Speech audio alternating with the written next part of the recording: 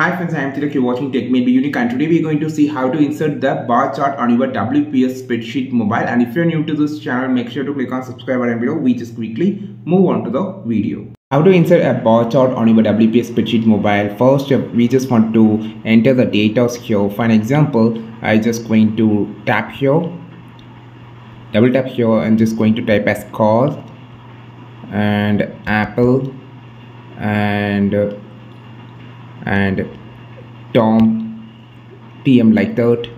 Okay. So now we're just going to enter as 60 70 and 500 so i just going to enter the value. Now just click on this icon option on the bottom section by clicking wherever.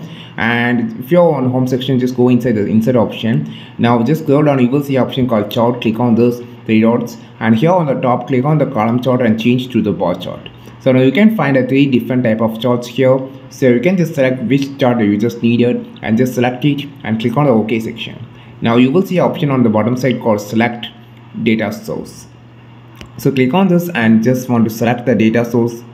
Just drag it and and click ok so you can just choose for rows or columns and here the, your bar chart has been changed. And you can also just can uh, change the style by clicking on the style option and you can find a different type of styles and colors on the bottom section. You can find different style and you can also change the quick layout like this.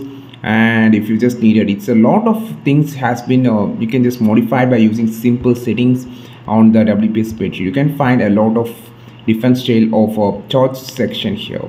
And just change it and use this. This is how you just insert a bar chart on your WPS spreadsheet mobile. I think this video helped you a lot. Like this video share this video subscribe this channel. We will meet our next video with a super valuable content. This is tilak signing off from Tech Made Me Unique. Have a wonderful day